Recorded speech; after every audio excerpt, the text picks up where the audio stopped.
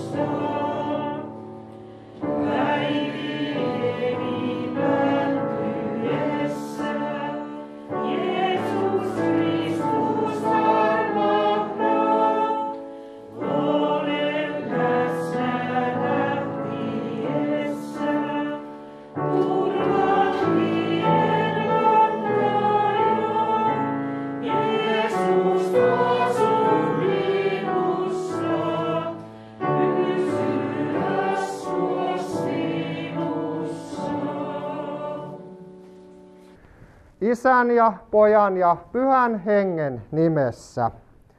Herra olkoon teidän kanssanne, meidän kaikkien kanssa. Aamen. Päivän psalmin sana psalmista 25 jakeesta 6 kuuluu näin. Herra, sinä olet laupias, muista minua, osoita ikiaikaista hyvyyttäsi. Jossain toisessa kohdassa raamatussa sanotaan, että Jumala muista minua armosi mukaan. Kun me ajatellaan tätä muistamista, niin me voidaan muistaa tosiaan monella, tai oikeastaan sanotaan kahdella eri tavalla. Meillä on varmasti kokemusta siitä, että joku muistaa myös toisella tavalla. Muistaa niitä virheitä, muistaa niitä riitoja, muistaa niitä pahoja asioita, mitä on sattunut siellä historiassa, elämässä taaksepäin. Mutta sitten on se, se tapa, mitä me rukoillaan, että Jumala muistaisi meitä armonsa mukaan, armonsa kautta. Eli kaikki se, mikä, mikä on takana, niin se voisi olla mennyttä, pyyhitty pois, upotettu meren syvyyteen. Ja miten se on mahdollista, se, että me jätetään syntimme Jumalan kasvojen eteen, Jeesuksen ristin juurelle ja rukoillaan, että Jeesus pyyhi sinä kaikki se mennyt pois, kaikki se mikä syyttää ja muistuttaa se synti, joka niin meitä helposti kietoo ja painaa ja vetää alas ja saa muistelemaan niitä menneitä asioita. Pyhi sinä Jeesus se pois, anna se anteeksi ja anna meille ilo, rauha ja vapaus sinun armosi kautta. Ja niin tapahtuu se ihme, että Jumala muistaa meitä armonsa mukaan. Hän muistaa vaan Jeesuksen hyvyyttä ja Jeesuksen puhtautta ja lukee sen meidän osaksemme. Ja niin tämä muistaminen on tällaista armon kautta muistamista. Tähän suureen mahdollisuuteen meillä on joka päivä, joka aamu, joka hetki mahdollisuus, kun me käännytään synnin tunnustuksessa Jumalan kasvojen eteen Jeesuksen nimessä ja hänen verensä suojassa. Ja niin me saamme tänäänkin tehdä. Synnin tunnustuksen numero on 706 ja käydään tähän rukoushuokaukseen tänä aamuhetkenä.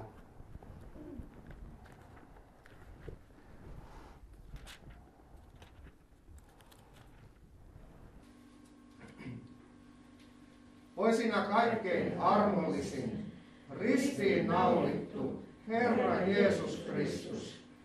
Armahda minua vaivaista syntistä ja katso puoleeni laupeutesi silmin, niin kuin sinä katsoit Pietariin, kun hän oli tietänyt sinut, ja niin kuin sinä katsoit syntiseen naiseen fariseuksen kodissa ja ryöväriin ristinpuulla.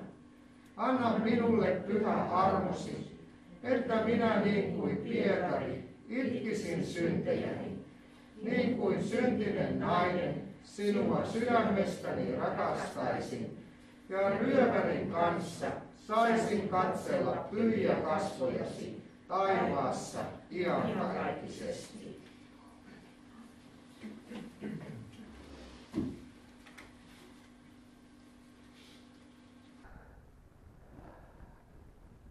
Jumalan sanassa on meille vastaus synnin tunnustusrukoukseemme.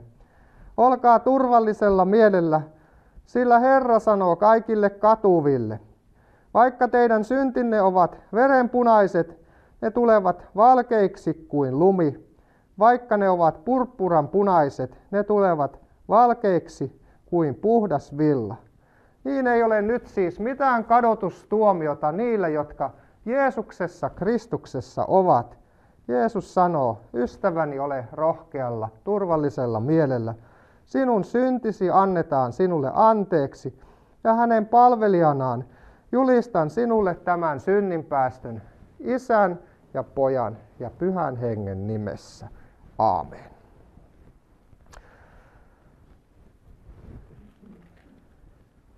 Käymme nyt päivän rukoukseen.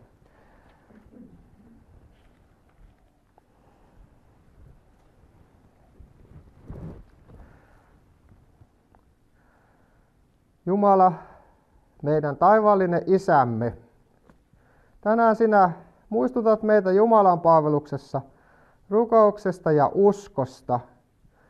Tue meitä, kun heikkoina ja monta kertaa ihan avuttomina hapuilemme sinua kohti, jopa vaan huokailemme.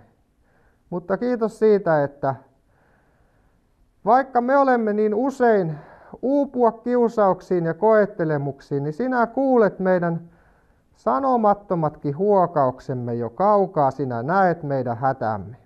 Kiitos, että sinä autat meitä kestämään rukouksessa ja uskossa tarttumaan Jumalan sanan hyviin lupauksiin.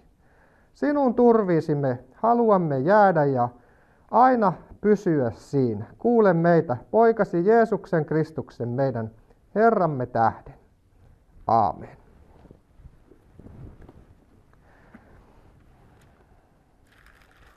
Nyt saamme kuulla päivän raamatun tekstiä, jotka Kipa tulee meille lukemaan ja noustaa Jumalan sanaa kuulemaan.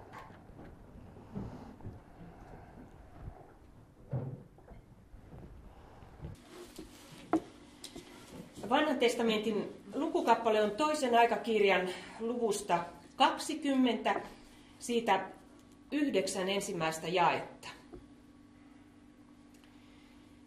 Sen jälkeen tulivat moabilaiset ja ammonilaiset, ja heidän kanssaan myös muita, paitsi ammonilaisia, sotimaan Joosafatia vastaan. Niin tultiin ilmoittamaan tästä Joosafatille, suuri joukko tulee sinua vastaan meren toiselta puolelta Aramista ja katso, he ovat jo Hasason taamarissa. Se on Enkedissä. Silloin Joosafat peljästyi ja kääntyi kysymään Herralta ja kuulutti paaston koko Juudaan. Niin Juuda kokoontui etsimään apua Herralta. Myös kaikista Juudan kaupungeista tultiin etsimään Herraa.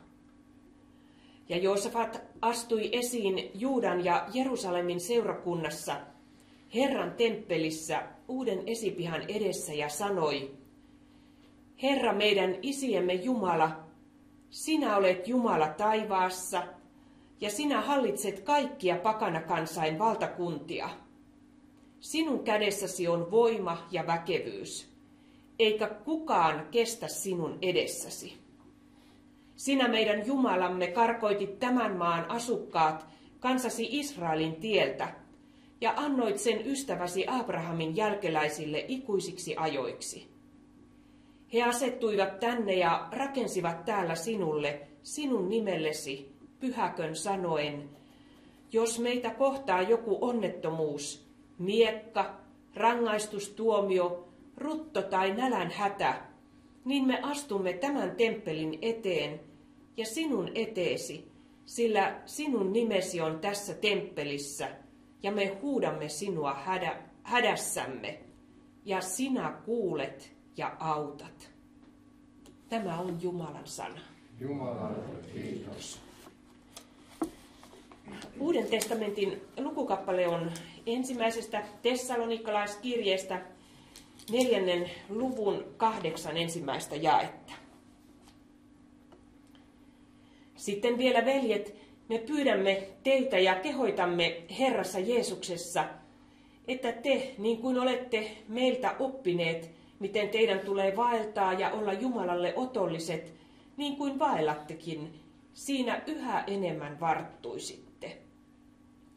Tiedättehän, mitkä käskyt me olemme Herran Jeesuksen kautta teille antaneet. Sillä tämä on Jumalan tahto teidän pyhitykseksenne, että kartatte haureutta, että kukin teistä tietää ottaa oman vaimon pyhyydessä ja kunniassa. Ei himon kiihkossa niin kuin pakanat, jotka eivät Jumalaa tunne, ettei kukaan sorra veljäänsä, eikä tuota hänelle vahinkoa missä, missään asiassa. Sillä Herra on kaiken tämän kostaja, niin kuin myös ennen olemme teille sanoneet ja todistaneet. Sillä ei Jumala ole kutsunut meitä saastaisuuteen, vain vaan pyhitykseen. Sen tähden, joka nämä hylkää, ei hylkää ihmistä, vaan Jumalan, joka myös antaa pyhän henkensä teihin. Tämä on Jumalan sana. Jumalalle kiitos.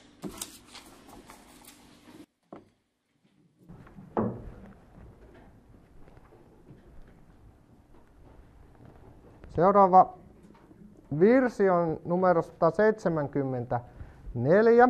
Se valmistaa meitä sitten saarnaan. Tänään kun me laulamme näitä virsiä, niin voit katsella niitä sanoja. Meillä oli Kipan kanssa mielessä se raamatun ajatus, että kun näette kaikkien näiden asioiden tapahtuvan, niin nostakaa päänne ja rohkaskaa mielenne. Teidän vapautuksenne aika on lähellä. Eli haluttiin näistä virsistäkin etsiä sellaista, sellaista ajatusta, että Jumalassa meillä on lupa nostaa päämme ja rohkaista mielemme. Käydään veisaamaan nyt tätä, tätä virtasta 74.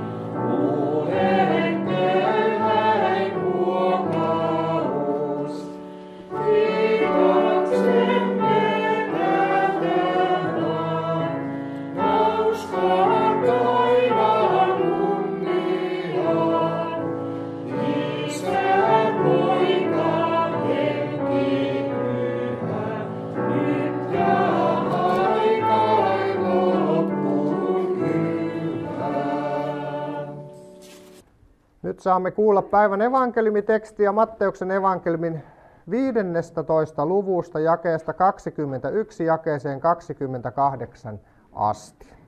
Noustaan Jumalan sanaa kuulemaan. Ja Jeesus lähti sieltä ja vetäytyi Tyyron ja Siidonin tienoille.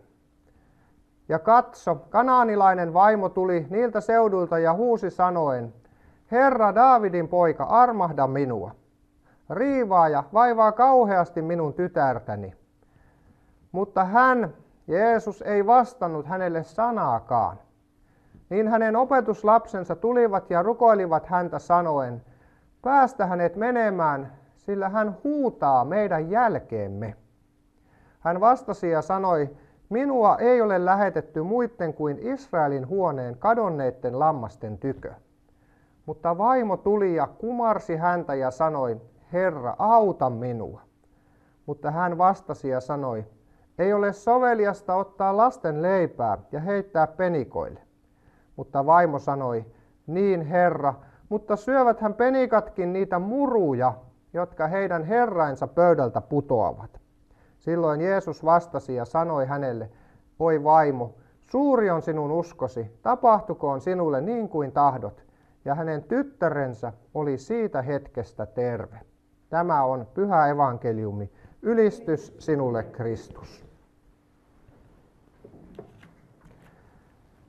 Armo teille ja rauha häneltä, joka on ja joka oli ja joka tuleva on, Herraltamme Jeesukselta Kristukselta. Tämän päivän saarnatekstistä kuulimme juuri Jeesuksen ja kananilaisen naisen kohtaamisesta. Ja tätä tutkiessani Esille nousi oma, omassa selvittelyssäni kolme suurta aihetta, josta jokaisesta voisi pitää raamattu opetuksen. Luettelen nämä kolme aihetta, mutta sitten keskityn vain yhteen näistä. Ensimmäiseksi voisimme pysähtyä miettimään sitä, että minkälainen tunne oli tuolla naisella, kun Jeesus vastasi hänelle tuolla aika, aika kovalla tavalla, että ei ole soveliasta ottaa lasten leipää ja heittää penikoille. voisimme miettiä loukkaantumisen tunnetta. Jos nimittäin itse olisin ollut ties tuossa tilanteessa, niin olisin varmaan jollakin lailla luultavasti loukkaantunut tuohon sanon, sanomistapaan. Ja tästä asiasta, tästä tunteen kohtaamisesta varmaan olisi ihan mahdollista pitää yksi saarna. Sitten toinen mahdollisuus. Voisimme keskittyä tuon kananilaisen naisen uskoon. Tuossa uskossa on jotakin aika samanlaista kuin sen joku aika sitten Raamatun tekstissä olleen roomalaisen sadan, miehen, sadan päämiehen usko. Tuo sadan päämies hän sanoi, että Jeesus, ei sinun sovi tulla edes minun kotiini, koska en ole sen arvoinen, että tulisit minun kattoni alle, vaan sano ainoastaan sana, niin minun palvelijani paranee. Eli tällainen, tällainen usko, joka ei näe itsessään mitään arvoa ja syytä, vaan kääntyy vain Jumalan puoleen, suuren Jumalan puoleen, tyytyy itse arvottomaksi, jopa koiran penikan kokoiseksi ja turvautuu Jumalaan tällaisessa suuressa nöyryydessä, pienuuden myöntämisessä. Tämä voisi olla aivan hyvä saarnan aihe myös. Sitten se kolmas aihe, josta tänään aion puhua saarnassa, on tuo Israelin kansan erityinen kutsumus. Jeesushan sanoi, että minua ei ole lähetetty muiden kuin Israelin huoneen kadonneiden lammasten tykö. Tästä sanasta ei Jeesus sitä lämpimikseen sano, vaan siitä käy ilmi Israelin kansan erityinen kutsumus Jumalan suuressa suunnitelmassa. Ja tästä erityisestä aiheesta nyt tänään puhun saarnassani, tai siihen ajatukseen liityn, en suoraan, vaan sellaisena suurena taustana liityn tähän ajatukseen. Mutta nyt käydään vielä tuohon tekstiin vähän tarkemmin ja tein sellaista salapoliisin työtä selvittäessäni tätä kananilaisen naisen tapausta. Nimittäin huomasin, että myös Markuksen evankeliumissa kerrotaan tästä samasta tapahtumasta. Toki paljon lyhyemmin, mutta sieltä löytyy yksi aika tärkeä taustatieto. Nimittäin Markus kertoo, että kun Jeesus saapui tuonne Tyyron ja Siidonin alueelle, niin hän tuli erääseen taloon, eikä tahtonut, että kukaan saisi tietää. Eli Jeesuksella oli tarve olla yksin. Mutta mitä sitten kävi? Niin kuin yleensäkin, Jeesus ei saanut olla salassa. Ja mikäli nyt oikein ymmärsin tuon Markuksen pohjalta, niin se, joka rikko tuon yksityisyyden, oli juuri tuo kananilainen nainen. Hän, hän tuli siihen tilaan. Ja nyt sitten tässä salapoliisin työssä piti tehdä vähän päättelyä. Tyyrön ja Siidonin alue oli pakanoiden asuttamaa aluetta aika laajalti. Mutta Jeesus, joka oli juutalainen, ei tietenkään sitten voinut mennä kananilaiseen pakana, tai tämmöiseen äh, pakanataustaiseen kotiin, vaan hän on varmaankin etsiytynyt juutalaiseen kotiin saadakseen yksityisyyttä. Tuohon aikaan pakanoiden ja juutalaisten välillä oli paikotelle jopa väkivaltaisuuksiinkin leimahtavaa jännitettä. Ja se, että tuo nainen tuli juutalaisen kodin yksityisalueelle, niin se ei rikkonut ainoastaan tuota Jeesuksen tarvetta olla yksin vastaan, vaan myös tuon kodin yksityisyyttä vastaan. Tämä voidaan löytää sieltä Markuksen evankeliumin tekstin tutkiskelussa. Kuvittele nyt siis tilanne, vähän niin kuin uudessa valossa tämä sama päivän teksti. Kuvittele tilanne, että olet viettämässä yksityistilaisuutta jonkun ystäväs kodissa ja sitten paikalle ilmaantuu henkilö, joka tarrautuu juuri sinuun hyvin itsepintaisesti. Kukaan ei ole kutsunut häntä, se on yksityinen tilaisuus, yksityinen koti. No meille tavallisille ihmisille tällainen liimautuminen tai tarrautuminen saattaa olla vähän epätavallista ja sitä voi olla vähän vaikea kuvitella, mutta jos olisit julkisuuden henkilö, niin heidän elämässään tällainen on aika yleistä. Jopa heidän koteihin saatetaan yrittää tulla tai sitten heitä yritetään salaa kuvata. No Jeesus oli aikansa julkisuuden henkilö. Tuhannet ihmiset pyrki etsiytymään Jeesuksen seuraan. Jeesuksella oli varmasti myös tarve olla yksin. Ja ajattelen nyt tuota tilannetta, kun tuo henkilö tulee tuonne yksityiseen tilaan, ja hän tulee juuri sinun takiasi, Jeesuksen takia sinne, jos olet niin kuin asettunut nyt niin kuin siihen julkisuuden henkilön asemaan. Mitäs, mitäs vaihtoehtoja tuossa tilanteessa on, jos, jos et halua, että se kotirauha tulee ikään kuin häirityksi? No voit soittaa poliisit. Poliisit sitten köijää tämän henkilön pois. Tai sitten on parempi vaihtoehto, vähän ystävällisempi vaihtoehto. Lähdet itse pois siitä tilanteesta. Ja sitten tuo henkilö voi seurata sinua, mutta se, se koti saa rauhan. Sinne kotiin ei tule kutsumatonta vierasta, kun sinä itsekin lähdet pois siitä tilanteesta. Ei tarvitse soittaa poliiseja ja sitten sitä asiaa käsitellään vähän neutraalimmalla maaperällä. Ja kun nyt sitten tutkin Markuksen evankeliumin valossa tätä päivän saarnatekstiä, niin syntyi tällainen kokonaiskuva, että minusta näyttää siltä, että tällainen tilanne oli siis päivän saarnatekstissä kyseessä. Tuo kananilainen nainen, pakana nainen, oli tunkeutunut juutalaisen kotiin tai sen ainakin pihapiiriin ja aiheuttanut tällaisen jännitteisen tilanteen. Ja näin hän oli siis juutalaisesta näkökulmasta katsoen rikkonut aika julkeastikin tällaisia sovittuja käyttäytymistapoja. Jos nyt Jeesus siis auttaisi tuolla juutalaisessa kodissa tuota naista sen kummemmin kyselemättä, niin samalla hän tuli ikään kuin loukanneeksi tuota isäntäperhettä, joka oli avannut kotinsa ovet tarjotakseen Jeesukselle sitä hetken lepoa ja hetken rauhaa. Silloin hän, Jeesus ikään kuin, niin kuin löisi korville tuota juutalaista kotia, joka oli osoittanut hänelle ystävällisyyttä. Ja nyt sitten on tällainen vähän niin kuin pattitilanne. Kuitenkin tuo nainen pyytää apua ja Jeesus ei koskaan jätä ihmistä auttamatta. Miten Jeesus ratkaisee tuon tilanteen? Jeesus ymmärtääkseni lähtee tuosta kodista sen kodin ulkopuolelle kävelemään poispäin.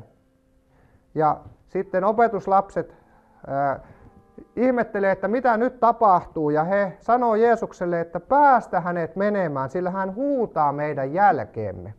Me voidaan niin kuin kuvitella mielessämme, että Jeesus kävelee nyt siitä ulospäin siitä kotipiiristä, ja tuo nainen huutaa hänen peränsä, etkö sinä nyt sitten auttanutkaan minua? Ja siltähän se näyttää tuossa tilanteessa. Ja Jeesuskin jopa ikään kuin torjuu tuon naisen. Perinteisesti on ajateltu, että hän koettelee tuon naisen uskoa ja tuon naisen ö, tällaista niin kuin, el, ö, ravistelee koetellen tuota naista. Ja niin varmaan onkin. Mutta tässä on myös tämä toinen näkökulma. Jeesus siirtyy neutraalimmalle maaperälle, jossa sitten voitaisiin käydä tämä keskustelu, kohdata tuo asia. No meistä täällä länsimaalaisista ihmisistä tämä saattaa tuntua aika käsittämättömältä, että minkä takia asiat nyt pitää tehdä noin vaikeasti. Minkä takia Jeesus ei olisi vaan voinut auttaa ja sitten jälkikäteen selittää sille kodille, että no näin nyt vaan kuuluu tehdä. Mutta kun me tutkitaan raamattua, niin me huomataan, että Jumala on valinnut Israelin kansan omaksi kansakseen. Ja se, että juutalaiset erottautu pakanoista, niin se ei ollut vaan sellaista nipottamista ja tiukka piposuutta, vaan heillä oli siihen tällainen raamatullinenkin tausta. Muistetaan sieltä vanhasta testamentista, että, että Jumalan kasvojen eteen ei saanut tulla epäpuhtaana. Ja kun papit lähestyi Jumalaa, niin ei hekään voineet mennä sinne kaikkein pyhimpään temppeliin. Ihan noin vain. Vaan oikeastaan vain yksi pappi sai mennä sinne kaikista pyhimpään temppelissä. Eikä hänkään äh, mitenkään pelkästään asemansa perusteella, vaan hänelläkin piti olla veriuhri, joka annettiin sekä itsensä että kansan syntien puolesta. Siis ylimmäinen pappi menee sinne toiseen majaan, eli kaikkein pyhimpään, ainoastaan kerran vuodessa, ei ilman verta, jonka hän uhraa itsensä edestä ja kansan tahattomien syntien edestä, sanoo hebrealaiskirje 9. luvussa. Eli Jumalan pyhyys on niin, niin äh, ehdoton, että Jumala tekee eron pyhän ja epäpyhän välillä. Ja kun juutalainen kansa sitten yritti elää todeksi tätä eroa, niin se ei ollut pohjimmiltaan vaan sellaista nipottamista ja tiukkapiposuutta. Totta kai varmasti juutalaisessa kansassa oli myös heitä, niin kuin on meissäkin nipottajia ja tiukkapiposia, niin varmasti oli myös juutalaisessa kansassa, mutta se ajatus erottautumisesta, niin ei se syvimmiltään ollut sitä, vaan jo psalmien kirjan ensimmäisessä jakeessa sanotaan, että autua se mies, joka ei vaella jumalattomain neuvossa, eikä astu syntisten teitä, eikä istu, kussa pilkkaajat istuvat. Eli juutalaisilla oli tämä ohje pysyä erillään. Ja tämä oli aika monimutkainen tilanne, että jos pakana tulee ilman lupaa juutalaiseen kotiin ja rikkoo sen, sen järjestyksen, mitä juutalaiset yritti elää todeksi, niin Varmaankin helpoin tilanne Jeesuksella oli ikään kuin astua tuon tilan ulkopuolelle ja sitten kohdata tuo kanaanilainen nainen. Ja siinä sitten käytiin se keskustelu. Jos me katsotaan tuon päivän saarnatekstin tilannetta, niin meidän oikeastaan pitäisi nämä länsimaalaiset ajatuksemme kääntää jopa ihan nurin perin. Eli se kysymys ei ole oikeastaan Jumalan pyhyyden valossa se, että minkä takia Jeesus torjuu tuon naisen. Vaan se kysymys onkin oikeastaan niin päin, että minkä takia Jeesus lopulta päättää auttaa tuota naista. Huomaatko siis, lännessä me ollaan ikään kuin loukkaantuneita. Totta kai Jumalan täytyy auttaa kaikkia ihmisiä. Jumalalla on ikään kuin velvollisuus auttaa kaikkia ihmisiä. Mutta ei raamattu tällaista opeta. Jumalaa saa lähestyä vaan, jos on mukana veriuhri. Uhri syntien sovitukseksi. Muuten pyhä Jumala ei voi lähestyä, koska Jumala on niin suuri. Tämä on raamatun järjestys ikään kuin. No minkä takia sitten Jumala ikään kuin antaa tuon pakana taustasen kuitenkin lähestyä itseään? No siinä on itse asiassa sama ajatus kuin siinä, millä perusteella se ylipappi sai mennä sinne temppeliin. Mihin tuo kananilainen nainen sinnikkäästi vetoaa. Hän vetoaa Jeesukseen Kristukseen, Daavidin poikana, armahda minua. Hän ei vetoa naisen oikeuksiin, hän ei vetoa tasa-arvoon, eikä edes lapsen oikeuteen tulla parannetuksi, vaan hän vetoaa Jeesukseen Kristukseen armollisena vapahtajana. Eli hän vetoaa siihen uhriin, jonka Jeesus tulee sitten Golgatalla antamaan, koska se on se armon uhri. Jeesuksen veri on merkki Jumalan armosta. Jumalan armo näyttäytyy Jeesuksen veren evankeliumissa. Ja kun tuo nainen kääntyy Jeesuksen puoleen nimenomaan vedoten Jumalan armoon, niin sen jälkeen ei ole enää mitään estettä sille, etteikö Jeesus auttaisi häntä. Koska Raamattu sanoo, että jokainen, joka huutaa avuksi Herran nimeä, hän pelastuu. Jokainen, joka vetoaa Jeesukseen armollisena vapahtajana, niin hänelle Jumala antaa avon. Ja niin tuo kananilainen nainen vetoaa siihen ainoaan perusteeseen, millä perusteella niin juutalainen, kreikkalainen, suomalainen, venäläinen, ukrainalainen, minkä tahansa maalainen saa lähestyä Jumalaa saadakseen armon se peruste on Jeesuksen veri, uhriveri. Sillä niin on Jumala maailmaa rakastanut, että hän antoi ainokaisen poikansa, ettei yksikään, joka häneen uskoo, hukkuisi, vaan hänellä olisi iankaikkinen elämä. Kukaan meistä ei voisi siis astua inhimillisen syntyperän, ei yhteiskunnallisen aseman, eikä minkään tällaisen perusteella Jumalan eteen, vaan yksistään uskosta Jeesukseen Kristukseen. Me opetetaan ja uskotaan, että se on yksin armosta, se on yksin uskosta, se on yksin Kristuksen tähden. Ja niin on tänäänkin evankeliumin sanomassa. Tällä lailla tuo kanaanilainen nainen sai avun, kun hän riippui siinä, kiinni siinä, Jeesuksessa Kristuksessa. Ja Jeesus antaa tuon, tuon kaltaisesta uskosta hyvän todistuksen, vaikka hän koetteleekin, koetteleekin aika ravistelevalla tavalla tuota naista, niin hän lopulta sanoi, että oi vaimo, Suuri on sinun uskosi, tapahtukoon sinulle niin kuin tahdot. Ja tällä lailla mekin saadaan Jeesukseen tarttua.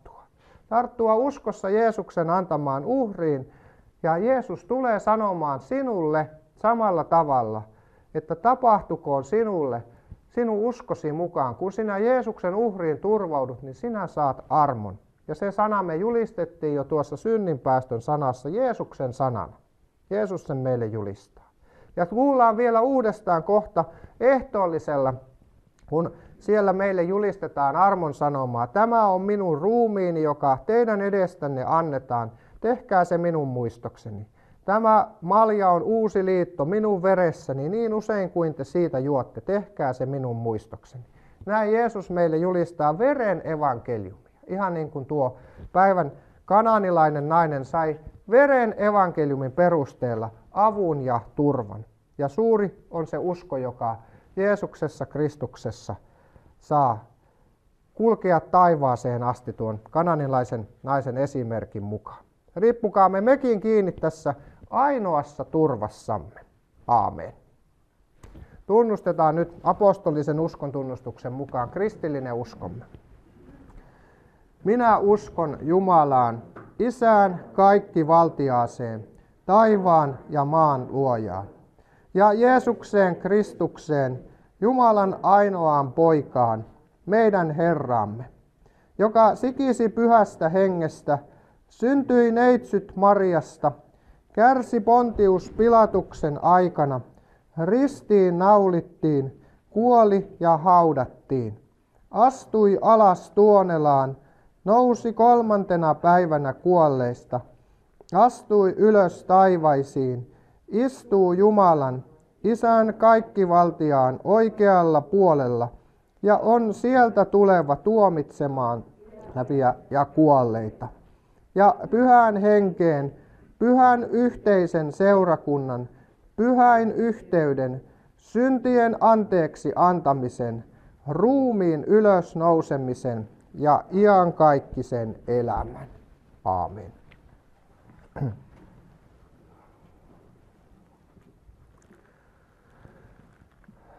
Rukoilkaamme nyt yhteisten asioiden puolesta. Luen tähän esirukouksen alkuun psalmin sanan. Raamatussa sanotaan, että rukoilkaa kiittäen Jumalaa, uskoen sen jo saaneen. Kiittäkää Herraa, sillä hän on hyvä, hänen armonsa pysyy iankaikkisesti. Niin sanokoot Herran lunastetut, jotka hän on lunastanut ahdistuksen alta ja koonnut pakana kansoista, idästä ja lännestä, pohjoisesta ja meren puolelta.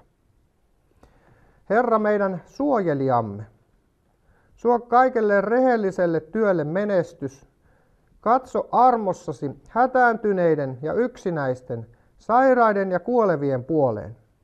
Ota turvattomat suojaasi, ole köyhien ja sorrettujen turva. Herätä meissä armeliaisuutta ja kykyä auttamaan. Sytytä meissä sinun pyhää intoasi oikeuden ja totuuden puolesta. Sammuta viha ja hävitä erottavat raja-aidat. Täytä pyhällä hengelläsi seurakuntamme ja koko kristikunta maan päällä. Tällä me rukoilemme, Jumala, sinulta, joka yksin voit meissä tämän aikaan saada. Sinä elävä ja kaikkivaltias Jumala, kaiken luoja ja holhoja, sinua sekä pyhää poikaasi ja pyhää henkeämme avuksi huudamme. Armahda meitä Jeesuksen Kristuksen tähden ja varjele meitä sinun totuudessasi. Johda kansamme, johda johtajiamme. Vahvista niitä, jotka kärsivät Kristuksen nimen tähden. Siunaa omaisuus kansaasi Israelia Siunaa myös se lahja, jonka tänään saamme kerätä evankeliumin työlle Japanin lähetyskentällä. Kiitos Jeesus siitä, että sinä olet leskien turva ja orpojen isä. Kiitos siitä, että sinulta tulee kaikki elämämme tarpeet. Siunaa myös tulevan kasvukauden Maan kasvu siunaa maan viljelijät ja varjelijat. Varjele koteja, lapsia ja nuorisoamme. Ole niitä lähellä, joita vaivaa nyt sairaus, kärsimys, ahdistus, yksinäisyys. Ole, ole kaikkien niiden lähimmäisten äärellä, joiden puoleen nyt sydämessämme nousee hiljainen esirukous.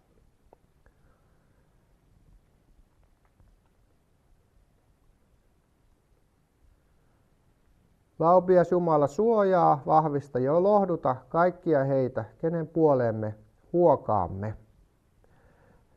Rukoilemme myös ystävyystahojemme Luukkaan pysäkki ja Joonan luterilaisen seurakunnan puolesta.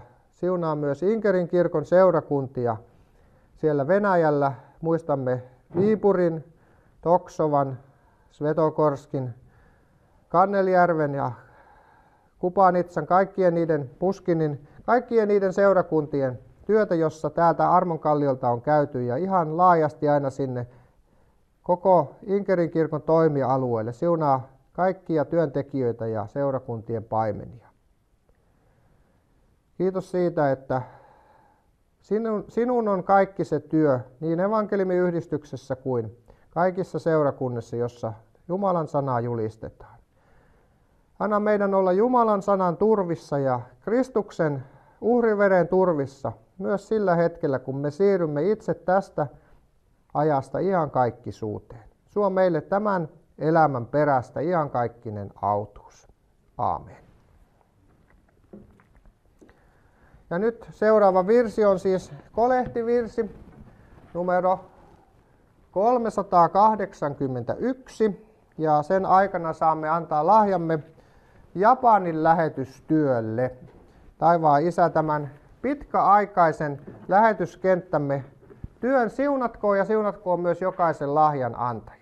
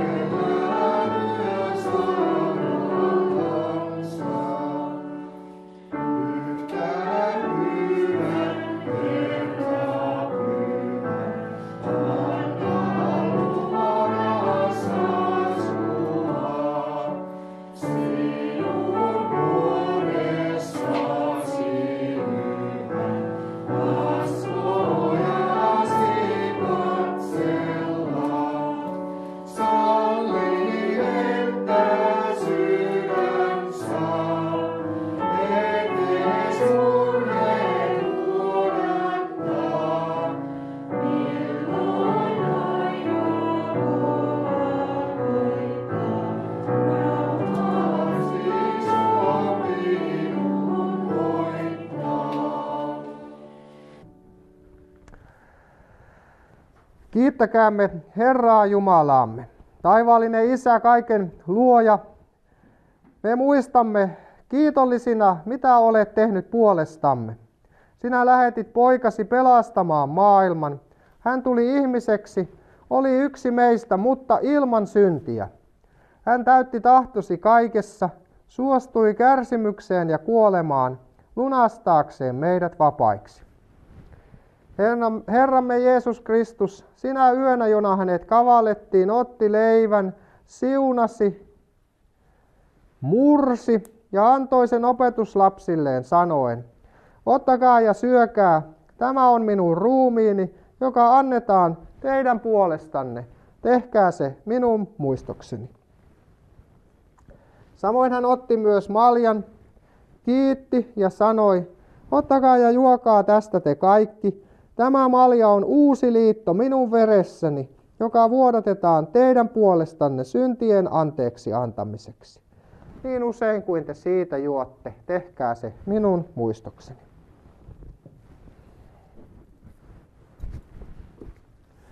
Armollinen isämme, tahdomme täyttää tämän käskysi ja viettää pyhää ehtoollista poikasi muistoksi.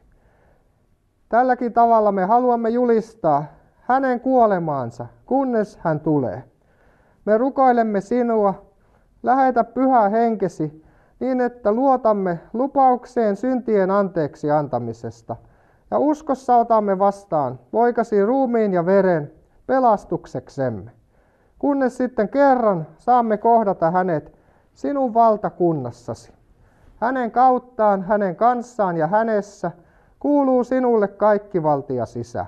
Pyhän hengen yhteydessä kunnia ja kirkkaus aina ja ikuisesti. Aamen. Rukoillaan niin kuin Jeesus opetti meitä rukoilemaan. Isä meidän sanoi.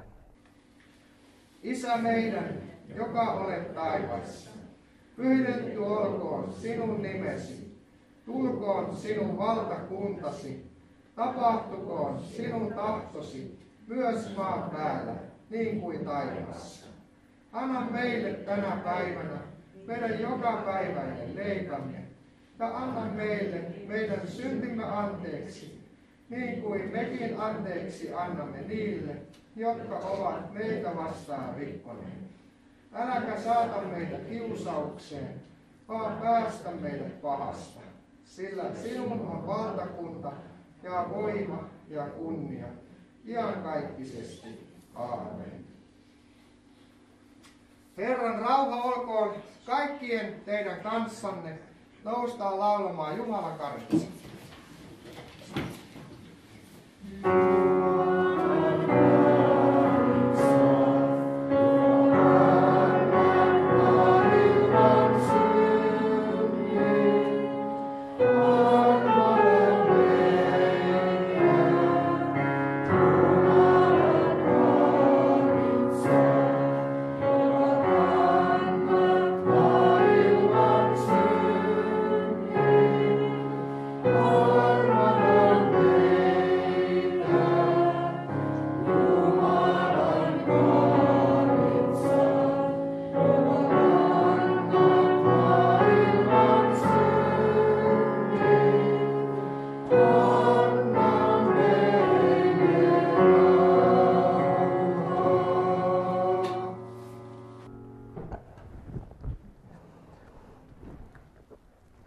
sanoo, tulkaa minun luokseni kaikki te työn ja kuormien uuvuttamat, minä annan teille levon, tulkaa sillä kaikki on valmiina. Ehtoollispikarit on tuossa pöydällä ja ne voi sitten palatessa jättää tuohon tarjottimelle pöydän etupuolelle. Olkaa hyvä, tulkaa ehtoolliselle vapain mielin.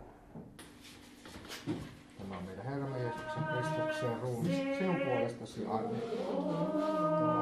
Herramme Jeesuksen Kristuksen ruumis sinun puolestasi aina.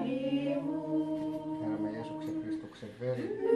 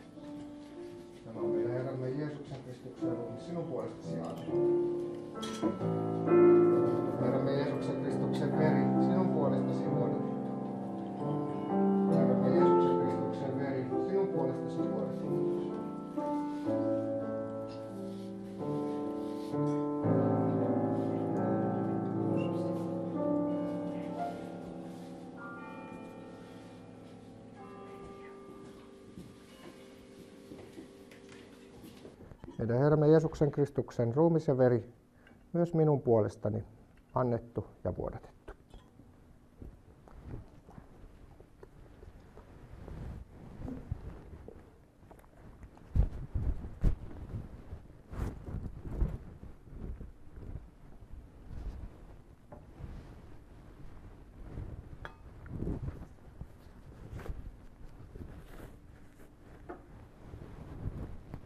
Meidän Herramme Jeesuksen Kristuksen ruumis ja veri meidän kaikkien puolesta annettu ja vuodatettu syntiemme anteeksi antamiseksi. Kätkeköön nyt henkemme, sielumme ja ruumiimme iankaikkiseen elämään. Jeesus itse sanoo, poikani, tyttäreni, ole turvallisella mielellä, sinun syntisi on annettu sinulle anteeksi, jää Herran rauhaan. Jeesus Kristus, me Ylistämme sinua tästä elämän leivästä, jolla ravitset meidät. Lähde, lähetä meidät palvelemaan pyhän henkesi voimassa, kukin siinä tehtävässä, jonka olemme sinut, sinulta saaneet. Anna pyhän ehtoollisesi vahvistaa nyt henkeämme, sieluamme ja ruumistamme, ja tee meidät kerran osallisiksi siitä suuresta juhlaateriasta siellä Karitsan hääjuhlissa – Kiitos siitä, että sinä sen teet, nostat, kannat, kuljetat ja viet aivan perille asti, koska sinä sanassasi lupaat, että sinä et jätä alkamaasi työtä kesken. Sinun nimessäsi, sinun veresi voimassa Jeesus Kristus me tähän turvaan jäämme. Aamen.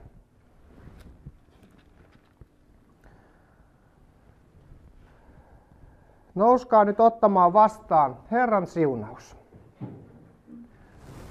Herra siunatkoon sinua ja varjelkoon sinua. Herra kirkastakoon kasvonsa sinulle ja olkoon sinulle armollinen. Herra kääntäköön kasvonsa sinun puoleesi ja antakoon sinulle rauhan. Isän ja pojan ja pyhän hengen nimessä. Aamen. Päätösvirsi on numero 419 ja sen sanoin ja sävelin Lähtekää rauhassa, palvelkaa Herraa ja toinen toistanne pyhän hengen voimassa. Iloiten